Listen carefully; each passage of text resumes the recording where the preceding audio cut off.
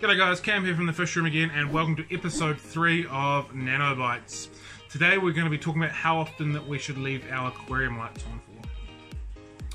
So this is a little bit of a loaded question. Uh, if you've got a planted aquarium, it is different. If you're heavily planted, it's different. If you're lightly planted, it's different. But as a general rule of thumb, 8 hours a day gives you a really good base to work from.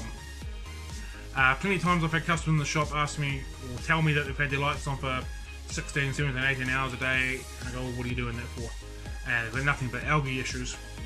So I've always tried to tell people, base yourself on around about the 7 to 8 hour start with, and once you go from there, you can increase it if you're growing plants if you need it, or lower it if you're, you're not growing plants.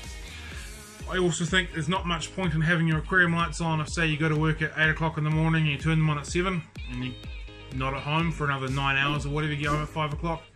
There's enough ambient room light to keep most aquarium fish happy during the day. So if you're not growing plants, I think you should just turn your lights on and off uh, when you're actually using or able to see the fish. There's no point having on uh, during the day when you're not there. Good piece of advice to help with this is to buy a power timer. You can get them from most hardware shops.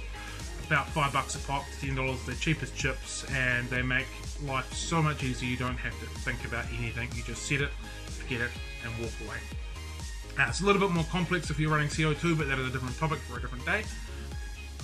But if you're just running um, normal plants, uh, just go Echinodorus, Crypts, Anubias, and, and mosses and stuff like that.